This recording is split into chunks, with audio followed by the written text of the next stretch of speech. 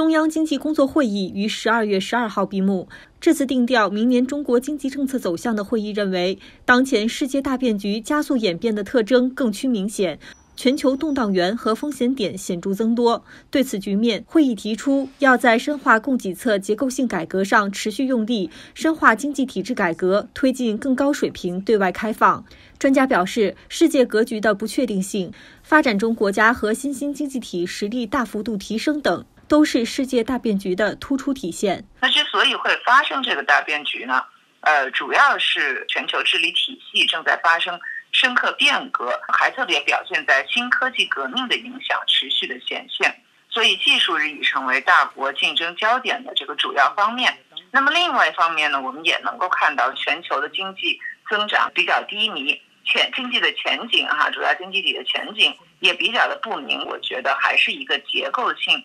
转型这样的一个较量，目前处在一个比较深刻的转型期，这实际上是现在最大的变数之一。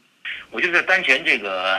这个大变局下呢，我们要内外兼修，以内为主。对外呢，我们我们还是要进一步扩大开放。但是我觉得更重要的是做好国内的改革和发展的工作啊，主要的精力，我就我觉得应该放在这个这个国内的改革发展和创新上面来。我觉得中国参与这个新一轮国际竞争的这个两个呃主要的驱动力，就是一个就是我们的创新驱动，另外一个就是我们。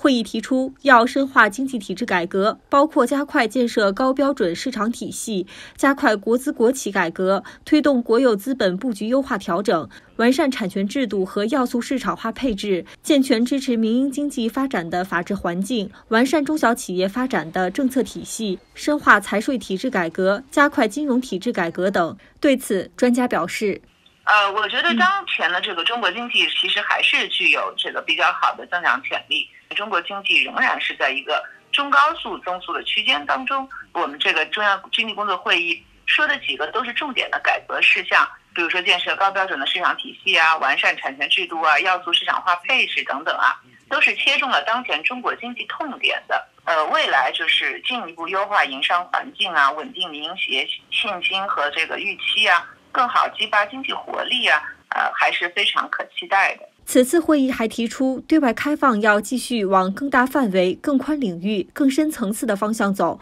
包括加强外商投资促进和保护，继续缩减外商投资负面清单，降低关税总水平，主动参与全球经济治理变革，积极参与世贸组织改革，加快多边自贸协议谈判等。近年来，中国已推出一系列措施，扩大高水平对外开放，包括出台外商投资法，持续缩减外商投资准入负面清单，主动下调进口关税，新增自贸试验区等。专家表示，过去中国开放主要遵循既有国际规则的履约式的开放，相对被动。而一系列最新部署表明，今后中国开放的主动性、自主性将进一步增强，更加契合本国经济发展实际需要。现在全球的经济呢，单边主义、保护主义盛行，而中国现在呢，这个积极主动的扩大开放，就是更多的让中国广阔的市场以及中国这么些年来的改革开放的红利，能让世界更多的国家来共同参与、共同分享。所以，这样的一个积极主动的开放，将不仅促进中国自身经济的发展，对于现在低迷的世界经济也带来了更多确定性的积极信号。